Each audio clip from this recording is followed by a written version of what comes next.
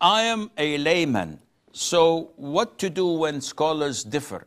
We've answered this so many times, Nishan, and said that a layman must select one particular sheikh whom he trusts his religious uh, knowledge and religious commitment, and he thinks of him as one of the best around.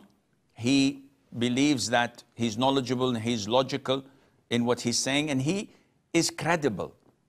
He's not just famous on social media or appears on TV screens or YouTube channel. No, he is a highly decorated uh, a scholar, and he's consistent.